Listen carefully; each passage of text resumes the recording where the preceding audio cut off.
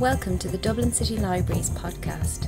In this episode, entitled Prostitution in Dublin in the Early 20th Century, Dublin City historian in residence Mary Muldowney explores how prostitution became entangled with the cause of Irish independence, as it was framed not as a social issue, but as a symbol of degeneracy of the British Empire. Recorded at the Central Library in October 2022. The problem of prostitution as a solution to poverty certainly isn't a new one, but during the late 19th century and the early years of the 20th century, it became associated with the major political upheavals that were ongoing in Ireland, not least in Dublin.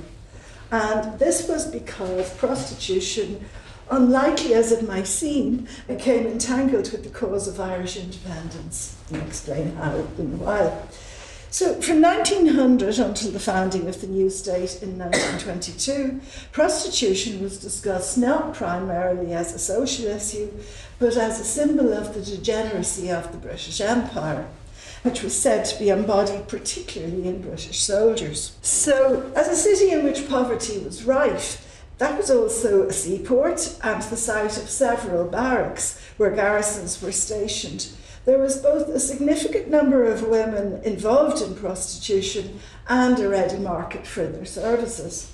In Irish cities, renaming streets associated with prostitution was relatively common, going back to mid 19th century, because clearly, if you didn't actually name it, maybe it wasn't happening. So this happened, you know, that that trend increased somewhat in the early years of the 20th century. Anderson's Row in Belfast was noted as an area of immorality because it became Millfield Place in December 1860. Uh, it didn't improve its reputation. In 1885, Lower Temple Street in Dublin became Hill Street in consequence of a similar attempt to change the reputation of the area. And this followed a memorial or a petition to the corporation for a number of inhabitants of the street who had suffered serious deterioration in the value of their property. As certain houses in the lower end of the street, which became what's now Parnell Street, were occupied by immoral characters and that's a quotation, not my opinion. So in 1888, Dublin Corporation renamed Mecklenburg Street Tyrone Street to please the respectable working class residents of the area. And later, Tyrone Street was to become Railway Street, which it still is. So, the Mecklenburg Montgomery district of the city, northeast of the Custom House, marks the infamous Monto district. And I'm sure we've all heard the song at some stage, but I'm not going to attempt to repeat it here. So by 1911, the renaming of streets in this area, so Waterford Street and Railway Street, remaining notorious. And while Tyrone Street, as Railway Street had been, was the most infamous street in the area with a considerable number of brothels, the adjoining streets, Foley Street, Montgomery Street, Mabbott Street, Beaver Street, Purdon Street, Elliott Place, Faithful Place, Uxbridge, and Nickleby were almost as disreputable. Now, if you don't recognise some of those names, it's because they've since been completely demolished. But in this slide, actually, that's Foley Street, which was formerly Montgomery Street and the centre of the Monto. But just to give you an idea of the number of soldiers who are stationed in the city. This is just in the immediate, what would now be the inner city area of Dublin. So you've got Wellington Barracks now, Griffith Barracks, Richmond Barracks, which is in Inchicore, and the Royal Barracks, which is now the museum, and Beggar's Bush. So they were all fairly close to the most populated areas of the city aka the slums. So there were a lot of women, especially. I'm sure there were male prostitutes at that stage, but there's nothing mentioned about them in most of the contemporary documents. And anyway, it was the women who were being exploited to the greatest extent. So um, that, as I said, is now Foley Street. This is a photograph from the 1960s. For somebody who loves having photographs as much as I do, it can be frustrating when you're doing the earlier years because you can't find anything. There wasn't a great deal of interest in photographing the slum areas until after the Church Street collapse, when there were a lot of photographs taken of the tenements. So, in the final years of the 19th century and into the early decades of the 20th, the British Army in Ireland had an embarrassing prominence among the world's military forces for the prevalence of venereal disease among its ranks. There were roughly 20,000 troops in the country in the first years of this century, uh, last century, uh, and they had the highest incidence of sexually transmitted diseases in the four countries of the United Kingdom, bar 1903 when they came second to Scotland. So it wasn't an enviable reputation to have. And it played into certain propaganda that started to emerge in these years. In 1904, this man, John Halliday Sutherland, who was studying to be a medical doctor in Dublin at the time, he trained in the Rotunda for a while too. He said he had walked, he later wrote about his time in Ireland, and he was a, an author who did write travel books quite a bit. He said he had walked down one evening down Tyrone Street and he observed that in no other capital of Europe have I seen its equal. It was a street of Georgian houses, and each one was a brothel. On the steps of every house, women and girls dressed in everything from evening dress to a night dress stood or sat. So while it was in the Monto area that prostitutes in Dublin had been gradually confined from the 1880s, this didn't mean that prostitution didn't exist or was less obvious in other parts of the city. Sackville Street, which is now O'Connell Street, of course, was a principal promenading ground for prostitutes, and many were also found in the Phoenix Park and Stephen's Green, and especially around the docks area. A police commissioner reported that prior to 1922, prostitution was mainly confined to a particular area stretching from Summerhill to Talbot Street and from Marlborough Street to the Five Lamps at the junction of Amiens Street and Portland Road. So it wasn't that people in that area were particularly prone to um, having to selling their bodies, it was that they often just didn't have a choice. It was one of the poorest areas of the city with incredible tenements on every street. Arrests for prostitution in Dublin rose from 431 in 1900 to a high of 1,067 in 1912. And um, I got those figures from Maria Luddy, the Irish academic but based in England. And she wrote a book called Prostitution in Irish Society, 1800 to 1940, which has a lot of fascinating information in it. I wouldn't always agree with her conclusions, but the thing is that if you want the facts, you can totally trust what she says because she's a really scrupulous historian. So the figures were significantly in excess of the numbers arrested in Belfast which was also a city with huge problems of poverty and prostitution and large numbers of British soldiers, and of course other garrison towns in Ireland. But Dublin was way out on its own in terms of the numbers. So during the two decades preceding uh, independence, the Dublin newspapers covered the issue of prostitution with a particular focus on the moral health of the city and the nation, rather than concerned for the well being of the women engaged in the sex trade. Until 1910, the complaints tended to be of a general nature and related mainly to the presence of prostitutes and their military clients on Sackville Street and other main thoroughfares. Apparently, the side of O'Connell Street, as it is now, opposite the GPO, was where the respectable women didn't walk because they might be mistaken for a prostitute, but that that was a popular area for walking up and down for women and their clients. The debate was heated up considerably in 1910 when a Jesuit priest, Father Gwynn, gave a lecture to the Catholic Truth Society claiming that lax policing was encouraging, and I quote him, looseness and depravity on the streets of Dublin. Reaction to his talk was outrage from those who perceived his claims to be a slur on the city.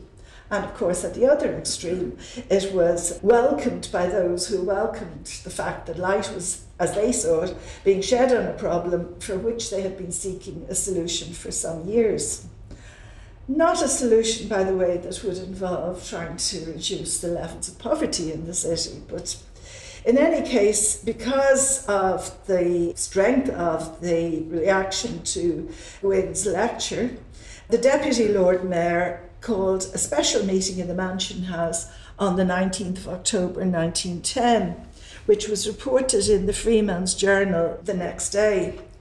Alderman McWalter, the Deputy Mayor, his introductory remarks reflect an attitude to women that was prevalent at the time and unfortunately didn't necessarily disappear with independence.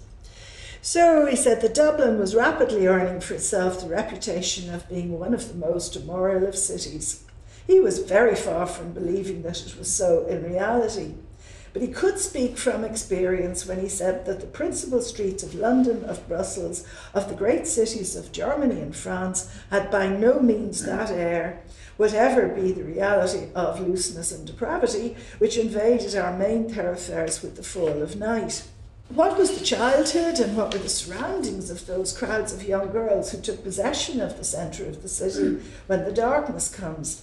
And his whole demeanour by no means suggests the modesty and decorum they were wont to regard as inseparable from the Irish maiden.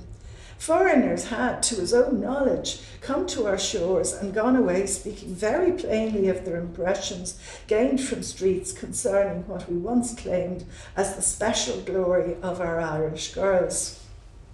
So, various proposals to solve the problem were discussed at the meeting, most of them fairly bizarre. One included a suggestion that if the police weren't doing their job properly and dealing with the problem, then the corporation shouldn't pay them. Industrial schools were suggested as a solution to the problem of children misbehaving on the streets, although it was pointed out that children were far more likely to be mischievous than immoral. The discussion that was reported in the Freeman's Journal suggested that the honour of the city was a greater concern than the conditions in which women and children were being forced to live. Alderman Tom Kelly, blamed the presence of soldiers, and suggested that Dublin should be more like Cork, where the soldiers were forced to behave themselves. So, although there was criticism of the existence of the red light district, Monto, in Dublin by representatives of various religious sects, most of the more public concern seems to have been raised by Catholic clerics. As the nationalist movement identified closely with the Gaelic revival, the phrase Catholic Ireland became more widespread. A case heard in Dublin's Northern Police Court in July 1901 and reported in the Evening Herald deals with a curious aspect of the preoccupation with religion in relation to perceived immorality that's DMP, Dublin Metropolitan Policeman. I think that particular one, he was known as the giant. they weren't all that tall.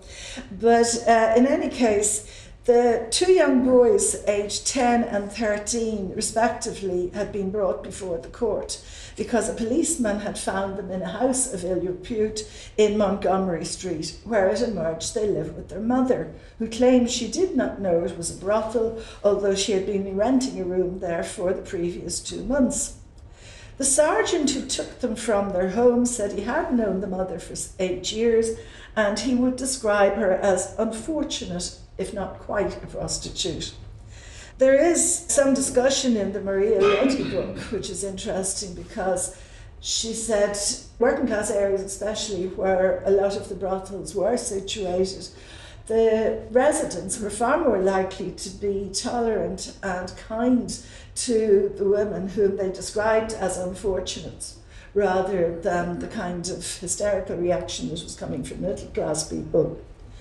But most of the examination of the witnesses in this court case focused on the religion of the boys because their mother said they had been raised as Protestant, which was their dead father's religion. Another policeman claimed their older sister said they were Catholics, and there was evidence that the mother had got clothing for them from a charity on that basis. But rather than concern for the well being of the children, the sisters only mentioned in terms of giving information about their religion. The preoccupation of the court officers and the policemen was whether or not the two boys were Protestants, because that meant they wouldn't have been sent to an industrial school. Other cases concerning young children also mentioned their religion, including one reported in the Evening Herald when two young brothers, aged six and eight respectively, were charged with immorality because they were begging on the street near the rotunda. The judge in that case was primarily interested in their mother's clothes, which he said were fit as, quote, for the wife of an older man. She explained she had borrowed them from her sister for her appearance in court. So if you were poor, you couldn't win no matter what you did. So, some of those most determined to clean up the streets of the city were advanced nationalist women, such as the members of Inghinidhe na hÉireann. They organised street patrols so that so called respectable women could pass safely without harassment from groups of soldiers who were congregating there. This is a handbill that they produced, which illustrates their insistence that consorting with soldiers was unpatriotic, and any women who did so should be saved from themselves. There's also a strong element of class prejudice in the language of this and other documents produced at the time and I've just put some of it there. It's, it's quite difficult to read because it was obviously stained over the years. But it said Ireland has need of the loving service of all her children. Irish women do not sufficiently realise the power they have to help or hinder the cause of Ireland's freedom. Irish girls who walk with Irish men wearing England's uniform, remember you are walking with traitors. Irish girls who walk with English soldiers, Remember, you are walking with your country's enemies and with men who are unfit to be the companions of any, well, any girl, for it is well known that the English army is the most degraded and immoral army in Europe, chiefly recruited in the slums of English cities among men of the lowest and most depraved characters. Inghinidhe na hÉireann are very anxious to get the cooperation of any girl who reads this handbill and feels she should like to help in working for Ireland's freedom and trying to save innocent country girls from the great danger which their thoughtless association with soldiers exposes them to. So the reference to innocent country girls was presumably aimed at the domestic servants who were often a target of the moral scrutiny of the patrollers rather than the prostitutes, for instance, who were forced to walk the streets or Phoenix Park or Stephen's Green to make a living, or those who worked in the infamous brothels of the Monto. Various vigilance committees emerged before the First World War, and they were particularly concerned with the vulnerability of these girls, who were never referred to as women, who were considered to be particularly naive and in danger of being seduced into vice. The Irish Citizen, the newspaper of the suffrage movement in Ireland, was founded in 1912 to cover both suffrage activities and the labour movement. They were very critical of the false view of Ireland propagated by the daily newspapers and the failure to report the extent of the exploitation of women forced into prostitution by their poverty. Similarly, the Irish Worker, the newspaper of the labour movement, focused on the economic conditions that gave rise to most women's involvement in the sex industry. Both newspapers repeatedly condemned the sexual violence that was often a feature of crowded tenement and street living. They were particularly scathing of the moral purity movement, which ignored the role of Irish men, especially those who came from a higher income bracket. When the white slavery agitation was at its peak in 1912, George Bernard Shaw issued one of the most forceful statements on the reality of the problem. He said, until you change this condition of society, whereby women are more highly paid and better treated as prostitutes than as respectable women, and secure to every respectable woman a sufficient a- wage with reasonable hours of labour, you will never get rid of the white slavery traffic. There are always orphans and widows and girls from the country and abroad who have no family and no husband, and these must submit to the blackest misery that a slum garret and an income from eightpence to one shilling a day can bring, to a lonely, despised, shabby, dirty, underfed woman, or else add to their wages by prostitution. Now, the whole thing about white slavery, there are all sorts of connotations with that to do with racism and other forms of prejudice, but there's a, a, whole literature on it by itself, so I decided to leave it out for this talk. Anyway, the searches of the daily newspaper that I undertook that were reporting the various police courts during this period show that prosecutions of working class men were common but if action was taken against middle or upper class men, it certainly wasn't made public because there's no trace of them. The language of a report in the Evening Herald in November 1913 suggests that men living off so called immoral earnings were not only criminal, but were not truly masculine. After reporting on uh, this man, um, who was found guilty, Charles Kane, of living off his wife's immoral earnings. The police gave evidence that he didn't have a job and that he appeared to have no other form of income. So Justice McInerney sentenced him to six months imprisonment with hard labour, remarking that it was an extremely bad case of immorality and revealed a most unmanly mode of obtaining a livelihood.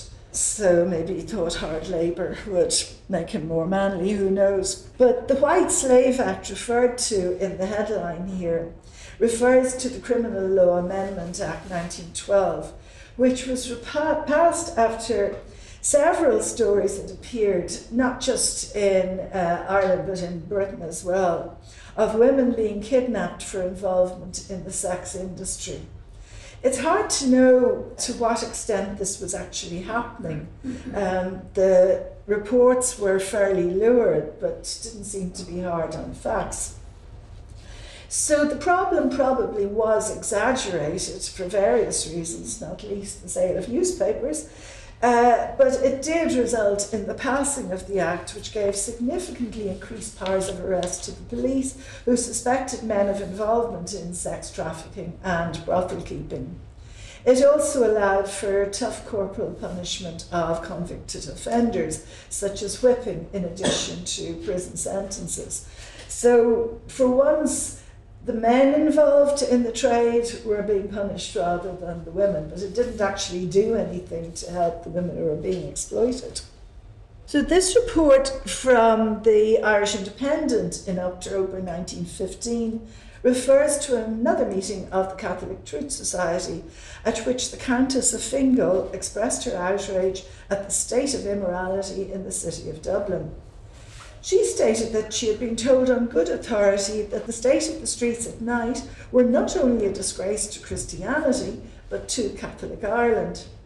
Her sentiments were echoed by P.T. Daly, who was secretary of the Irish Trade Union Congress at the time, who said that fathers of families had reported to him that along the North Quays, from the Custom House to the end of the North Wall, it was impossible for them to allow the females of their families to go down there after nightfall. There are hints there about uh, marital relations that are rather unpleasant, but let's not talk about that. So the various vigilance groups that were set up they seemed to feel quite free to comment on the lives and behaviour of women working the brothels and streets of Dublin although they did occasionally concede that the overcrowded housing and the dreadful poverty in the city might have had something to do with the prevalence of immorality. But the many letters written to the Dublin newspapers about the situation focused mainly on the foreign influence of the British soldiers in corrupting innocent Irish girls. They were blamed for the high levels of venereal disease in the city and other evils associated with the sex trade. But of course, if you go back to the 19th and early and the 18th century when this was being discussed, somehow um, there was a lot of venereal disease then, and there weren't as many British soldiers, so maybe some Irish men were guilty of this kind of behaviour too. So, in any case, there was a growing understanding that there were economic and social causes of prostitution, but this did not seem to influence the letter writers to newspapers who produced some very strange remedies for the problem. Some recognised that overcrowded tenements certainly had a role to play. But rather than tackle the appalling conditions in which many Dubliners were forced to live, they suggested that tenement dwellers should be isolated as one would deal with leprosy or smallpox, to quote one letter. Another writer suggested that every brothel should be marked, quote, as a plague spot with a red danger signal.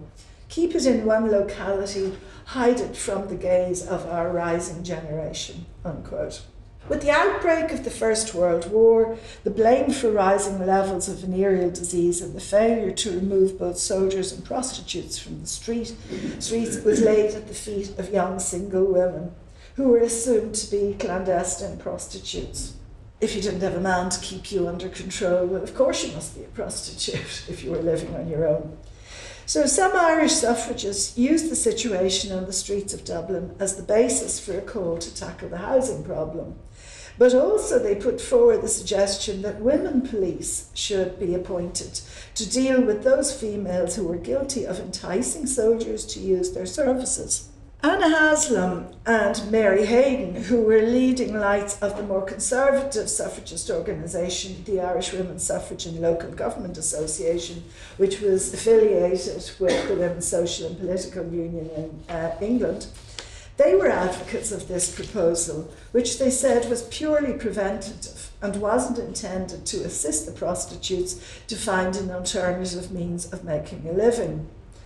So it was okay to have this moral scrutiny going on, but you certainly weren't going to help the women get out of the situation they were in. So the patrols were composed of pairs of young women, presumably the sort of young women that Inghinidhe na hÉireann had been calling to volunteer. They had to be able to afford to give two hours at least a week to carry out their duties, and these involved monitoring public places, separating couples thought to be embracing too closely, following those they expected might be about to embark on an unsavoury course of behaviour. I'm quoting there, by the way. There was clearly a class bias as these unpaid guardians of morality were appointed to interfere with the lives of poor women as the Irish worker assessed their role. Um, there were other ways in which Irish suffragists developed other forms of surveillance of their working class sis- uh, sisters. But, you know, there was always this assumption that educated middle class women almost had a duty to monitor women who didn't come from the same kind of background. So, restriction and control of working class women's sexual activities expanded even further as the war continued. In January 1916, a member of the uh, Women's Patrols, Miss, Miss Mosher, formed the Dublin Watch Committee and became its secretary. It had a number of subcommittees dealing with different forms of vice drunkenness, immorality, lending, gambling, acts by and against children. And it seems to have remained in existence until at least 1919. So it's not clear whether it gave up because of the War of Independence, which would have made the streets of Dublin fairly dangerous, or whether they saw the light, who knows. In any way, uh, the 1917, the Venereal Disease Act had been passed, to prevent the treatment of venereal disease otherwise than by duly qualified medical practitioners and to control the supply of remedies, therefore. And that was a reaction to uh, a lot of kind of home remedies or people who couldn't afford to go to doctors taking it into their own hands, and it wasn't exactly solving the problem. So the uh, Venereal Disease Act reflected the widespread panic about sexually transmitted diseases, which was prevalent in all parts of the United Kingdom at the time, not just in Ireland. But in Ireland, the association of British soldiers with the spread of venereal disease fitted the nationalist narrative as well as the suffragist movement. So it got greater traction in both the newspapers but also the various journals that these organisations produced. With the foundation of the independent Irish state in 1922, the presence of the foreign scapegoat was no longer an issue. The new state, with insistence, its insistence on Catholic identity, continued to be preoccupied with women's sexuality and perceived transgressions of the behaviour, behaviour expected of so called decent Irish women. And in the absence of British soldiers, the discussions continued, but this time the focus was solely on containing the women.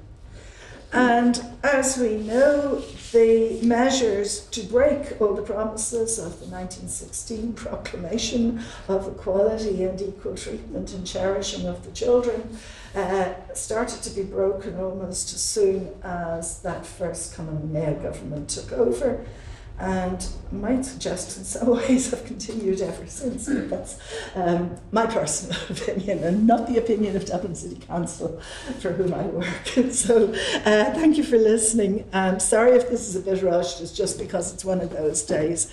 But um, there's fascinating stuff that happened in the early decades of uh, the Irish Free State and then, of course, into even the, the Republic. Uh, including that brilliant document, the 1937 Constitution. So thank you.